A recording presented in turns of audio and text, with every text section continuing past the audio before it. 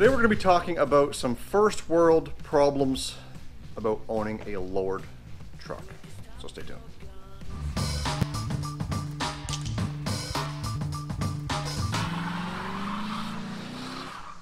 So one of the biggest problems that I'm finding about having a lowered truck isn't anything to do with the ride quality.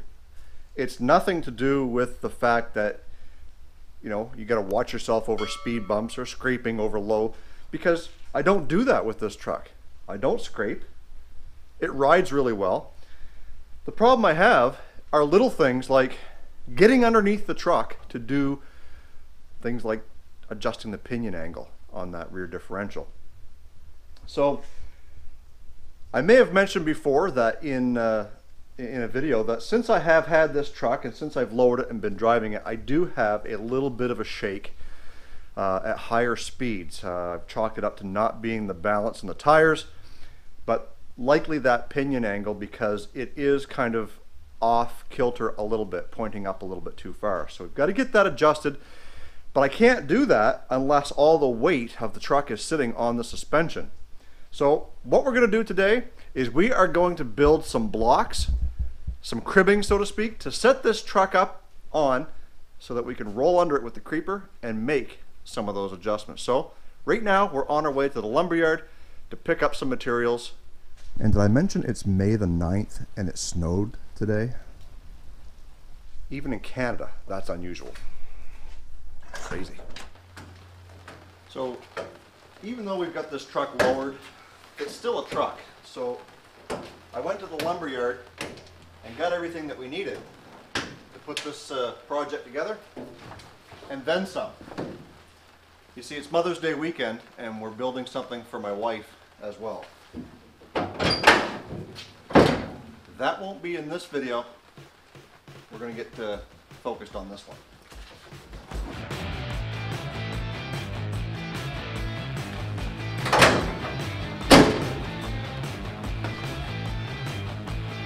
basically what we've got here is we've got about a dozen economy studs that we're going to be cutting down to about a foot and a half for each level.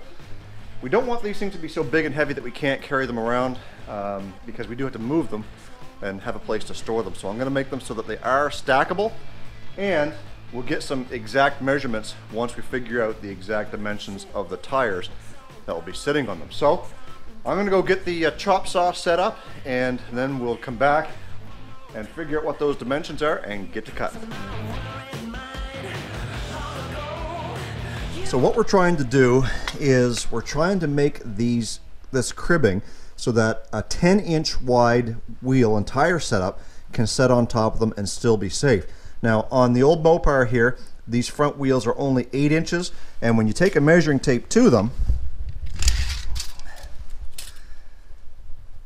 with the tire sticking out and bulging is roughly about 9 inches. So I think the idea here is if we cut the cribbing to be probably somewhere in the 12 inch, uh, that means it's going to be a foot square and we'll take them up about a foot. That gives us lots of clearance to be able to jack the truck up, set it down in the cribbing, and give us probably a couple of feet to slide underneath the truck. Depending on how much wood we have, we may go a little bit taller, but for now I think we're going to use 12 inches as our measurement. But before we go and cut all of them, I'm going to make one square and then test it and see if I think that's going to fit. If not, we may have to go further, maybe 14 or 16 inches to see uh, if they're going to fit. So let's do a test cut and we'll go from there.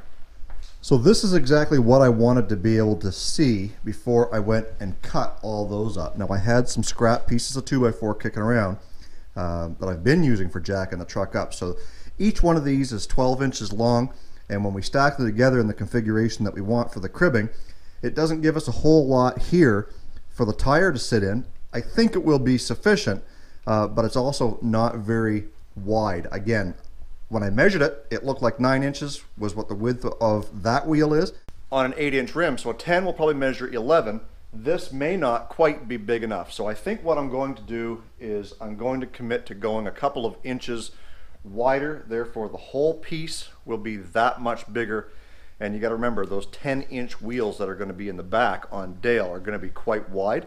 Uh, so the footprint's going to be there. We want to make sure we got enough footprint to be able to handle uh, that tire and the weight of the truck. So I'm gonna go start cutting up a few more, uh, a little bit bigger, and uh, we'll get them put together for you. And this project will be done. So uh, let's get to measuring and cutting.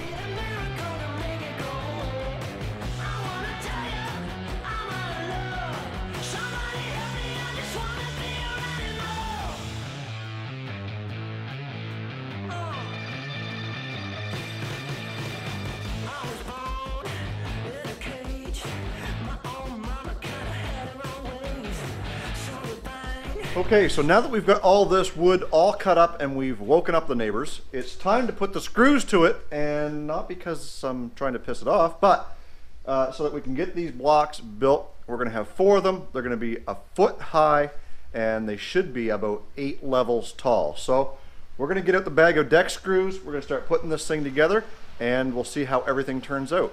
And I do have two more 2x4s left over. If I wanted to, I can get six more pieces out of it, which is three layers high per stack. So we'll see how this works first. Then we'll come back to this and we might use those as well.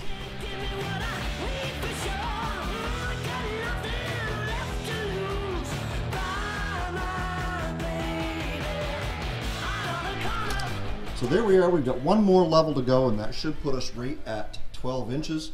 And uh, I think that one more row will be enough to get the truck lifted up so that we can get underneath of it with a creeper. So I'm going to put that last one on and build the other three. and I'll be right back with you.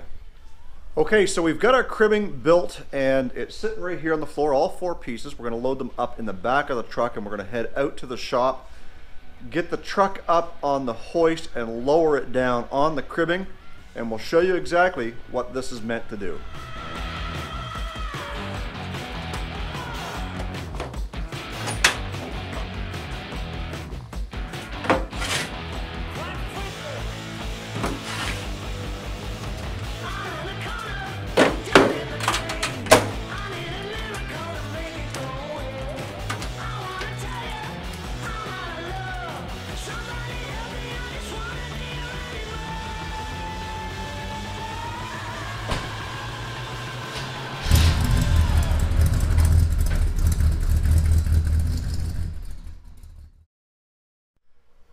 Okay, it is the next day. We are out here at the shop and we're about ready to get the truck up in the air so we can set it back down on jack stands. But before we do that, I'm gonna show you what we're gonna be doing while we're underneath of it.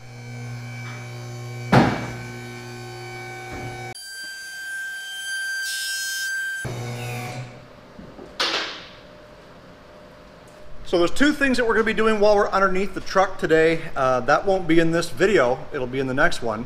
But let me give you a sneak peek of what to expect. So one of the things that we've got to fix is our pinion angle.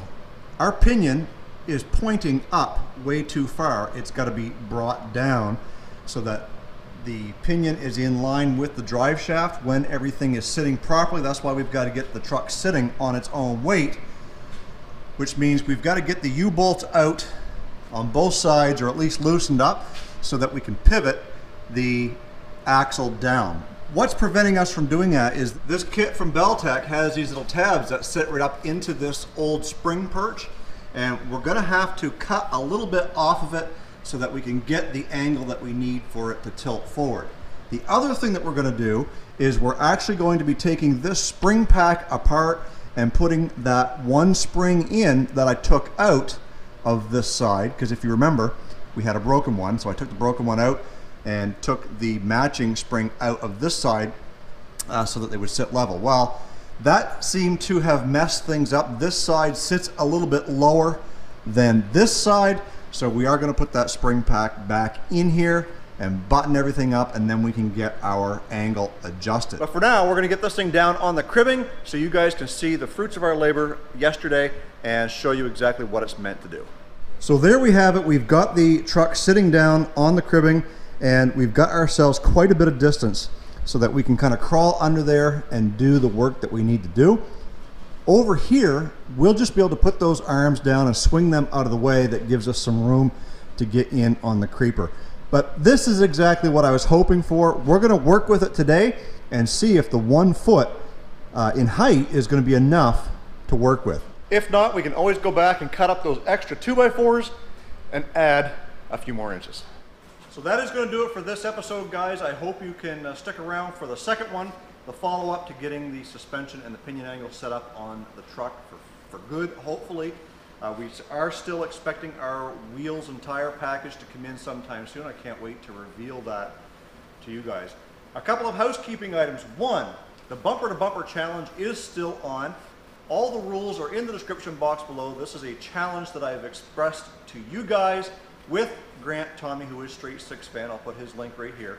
We're trying to get my buddy Kip from America Bumper to Bumper to 1,000 subscribers, and we're hoping that your participation in the Bumper to Bumper challenge is going to help us do that. Basically, all we're doing is getting you to list all the vehicles you've ever owned with pictures, and like I said, maximum five minute video, and the rules are listed down below. And I'm pretty excited to see some of the vehicles that you guys have to offer. I'll be even more excited if you guys take the opportunity right now to click that subscription button and the bell notification and subscribe to my channel because it would really, really make me happy. We're trying to get to 5,000 subscribers so we can blow up another car. I can't do it without you guys. So if you're not subscribed to my channel yet, please go ahead and do so now. I'm also extending the invitation out to you guys that if you've got a ride that you want to show off and become a feature on my channel, the information is down below. You can send me your ride and I will make it a feature and show everybody on my channel in hopes to get the word out about what you have to offer. And we've had some submissions come in already and I'm looking forward to putting that video together. Also stay tuned for Saturday's upload. It's going to be my 400th video that I've uploaded since I've been doing YouTube. And well, I've asked a few friends if they could help celebrate. So you're not going to want to miss it. Stay focused on the windshield, not the rearview mirror. I love you guys. God bless. Let's do it again in the next video.